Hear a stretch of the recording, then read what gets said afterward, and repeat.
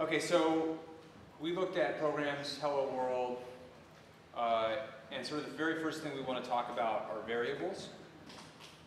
So if you're brand new to programming,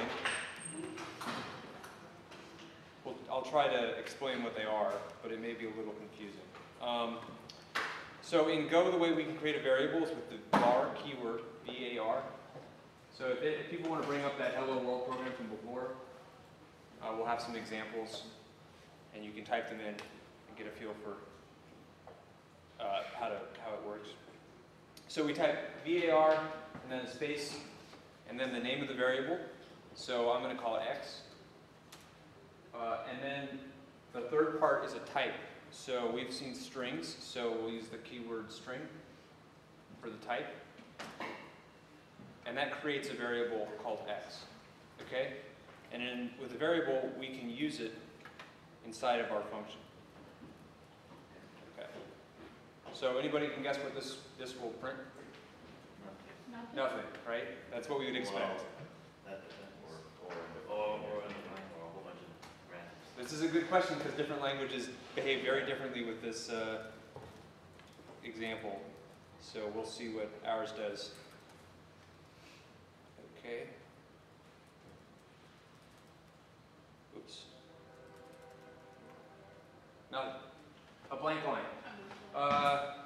Blank line and not nothing is because we said print line, which always prints a line. If we had just said print,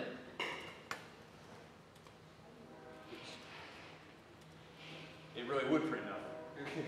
uh, so basically print line just adds a new line after whatever you give it. Um, so that's an important point about Go. There is no sort of undefined behavior. If I don't initialize a variable, it, it just gets a value, and that value is well defined what it is. Uh, for string, that's the empty string. Um, in C, this would be bad. You wouldn't do this. Uh, but in Go, you can. Okay, so that's the basic structure of the variable. You say var, the name, and then a type, and then you can optionally give it a value. So you can use the equals keyword, uh, character, and then give it a string. So I can say hello world, okay? And then get our hello world, right? Um, so I've assigned the value hello world to x, and that's what it's going to start as. Uh, so we print x. So variables are just like they are, well, mostly like they are with algebra, same kind of idea. Uh, you know, it's a variable. And it can change, hence the name variable. So we can change the value of a variable by using equals. Okay? So inside of my main function, I just set x equal to not hello world. So what's this program going to print? Exactly. Uh, because I changed the value, right? So if I do that instead, now we should expect it to print hello world, not hello world. I've changed the value of x, okay? So this is where it's different than algebra, right? In algebra, you don't really do this. Uh, when you assign a value to a variable, it's like a sign. Like if you were to read this like a theorem, it would be nonsense. Uh, but it's not. It's think of it like a placeholder or a box, and you're giving it a value, and putting it in the box, and then when you use it like this, you're pulling it back out again. Okay, and that's how variables work. Um, so variables are super useful. They're like the core building block of a program, um, and so we're going to use them a lot. But in Go, there's a lot of ways to create variables. Okay, so I'm going to show you some of the different ways we can do them. So this is like the basic structure, but we can do different things. One of the things we can do is we can get rid of the type. Okay, so now I've said var x equal hello world. Um, this is exactly the same as the previous program. What it does is it looks at the right side of the equals, and it figures out what the type is, and it just gives it that type. So it knows that x is a string, because I assigned it a string. Now, Go is not like JavaScript or Python. Uh, it is strongly typed and statically typed. So I can't change the type of x. So to give you an example, another type that we often work with is an integer, which is just a number. This is invalid code, okay? The reason this is invalid is this is not a string. And I can only assign a string to x, okay? Everybody following? Yeah, question? Did you declare x X's type when you put a string above? Yeah, so it infers the type, right? like I said, this is the same. Uh, because it knows that the, it's the string on the right side, I don't have to tell it it's a string on the left side. Um, so we can leave out the type. The type is optional. It's often useful to have it, but we don't have to put it there. Yeah. So you, you define it as a string with the hello world line, thus the second definition of X doesn't work, correct? That's right. That's why. That's why. That So if why. I did this, now you might think, okay, what if I did that, right? You can't do that because X has to have a type. So it can either get the type from what you assign it to, or you can specify the type. So this is valid, okay? And any guess what this is going to print? So I've made a variable x that's an int, and I print it, and then I set it to 5, and then I print it again. Nothing in that file. Okay, so let's, Nothing and then five. Let's run that. Or perhaps whatever was there in memory before. Okay, so, uh, like I said, that would be right for C. That's exactly what would happen, I think, in C. But in Go, it always has a well-defined value, and if you don't give it a value and it's an integer, it's zero. So it prints zero and then five, okay? Um, so that, this is equivalent to this. They call that the zero value, because for an integer it's zero, for a string it's the empty string. We'll see other examples of other types. Um, so that's how you can create a variable. There's another way to create variables, but first I want to show you this. So I put it here at the at sort of the top level, the furthest indentation to the left here. Uh, you can also define variables inside of the function, right? So I can move that to here. Um, that's basically the same thing that we just saw, like it's going to have the same behavior. Uh, but the other thing we can do with this is we can use a shorthand syntax, okay? So instead of saying var x int, we can say x colon equal, okay? And that is the same as var x equal 5. Okay, so it's a shorthand. It saves you a few characters. Um, those two things are the same, okay? But you can only do this version inside of a function. You can't do it at the top level, okay? So I can't do this. This is, this is bad. It'll not like this. If, uh, if you don't define X before you ask to print it? Okay, that's a good point. Let's, let's see that. Uh, so, let's do that. Okay, so now we've defined x after we used it. That's no good. It'll say undefined x, the compiler's gonna complain. Um, undefined x. So, but it turns out that when you put it at the top level, all of that sort of before anything you do in a function, so it doesn't matter where you define that. Uh, there's no, there's no like before and after because it's at the top level. Um, so at the top level, uh, like this is code that gets run in order sequentially, right? Statement, statement, statement, statement, statement. Um, but at the top level, it's more like declarative, right? Here's a function. Here I'm importing a package. Here's my package.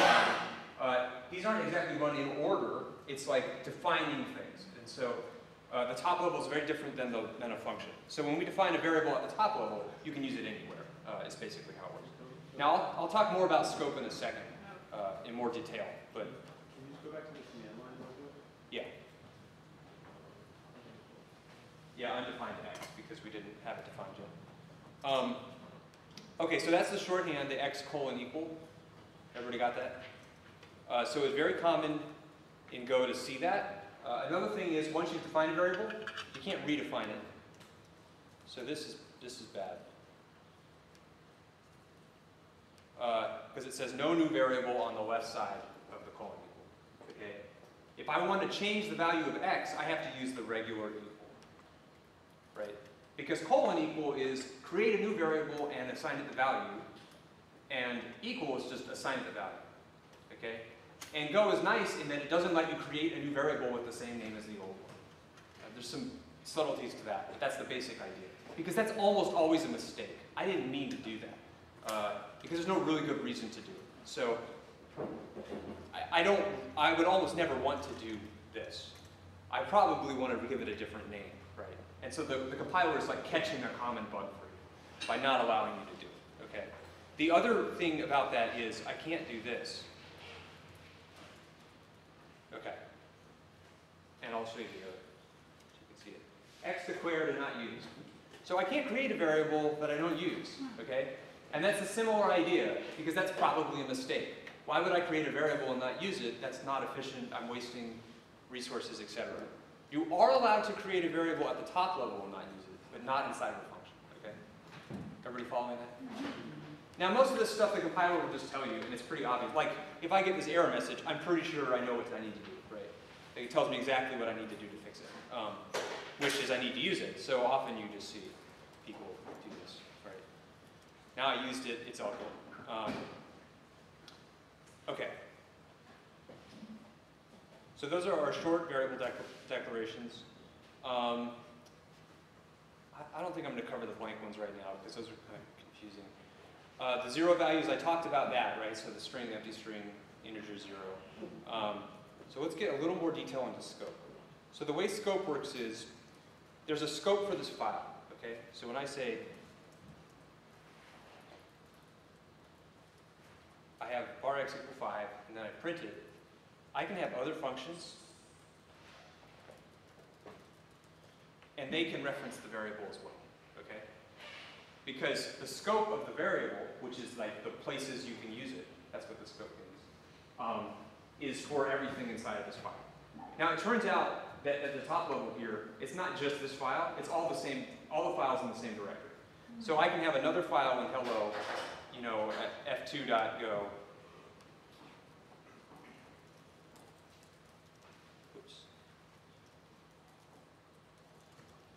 And I can use x in here, okay? It's defined in the other file, but the scope goes to the whole directory, okay? When I define it at the top level. And the reason for that is that's super common. Uh, you don't usually have a variable called x equal 5. You have a variable that's much more, you know, uh, you might say pi equal, you know, 3 or whatever.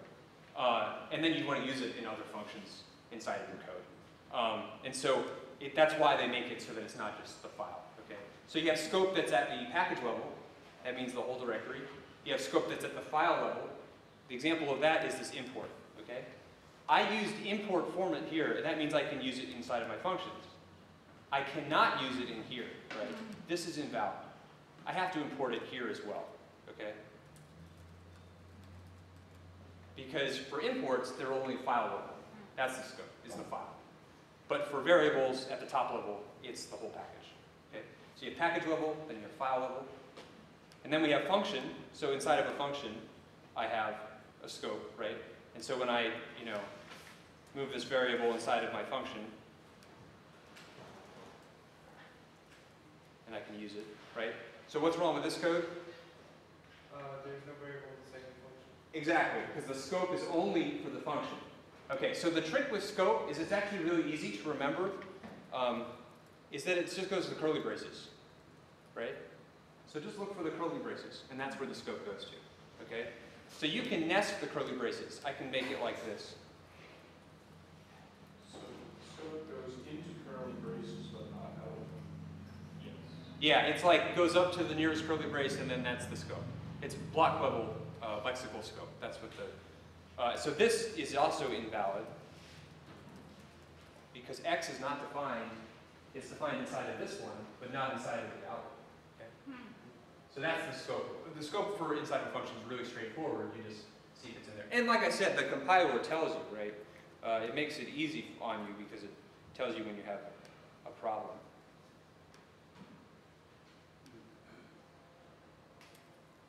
So you're going to define a variable inside the function?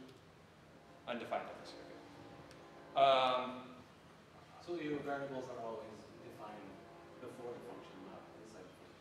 no, I did define a variable Oh, right here. So basically, the way the variable works when you define inside a function is it's from this point to the last closing Yeah. brace. okay. Uh, so I couldn't use it before here, and I can't use it outside of the brace. Right. That's how the scope works. Okay. Um, so uh, the difference is in JavaScript. JavaScript lifts everything to the function. So this actually would be valid JavaScript. Super confusing, but that's what it does. Okay. So Go makes this decision much better. This makes sense that you do it this way. Okay. I have a question. Yeah. Um, because there are no uh, semicolons to close out your statements, is the return, uh, being recognized by the compiler, or is it, or if you ran everything out as a single line, would it still read it properly? Yeah, great question. So it turns out if we were to look at the spec, um,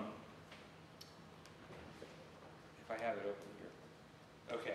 So it turns out that uh, the rules about semicolons, the formal grammar uses semicolons as terminators. Okay.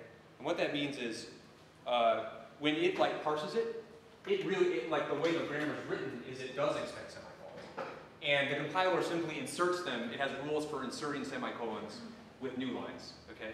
So you basically never use them, but they're like there for the grammar. So you can put things on the same line, but if you do so, you have to use the semicolons. Okay. Now the thing is, since I'm using the editor here, when I save this, it's going to change it. Okay. And the reason it's doing that is it uses a special program called Go Format, which formats Go code. Uh, and it's like, that's bad, you're not supposed to do that, and so it changes it.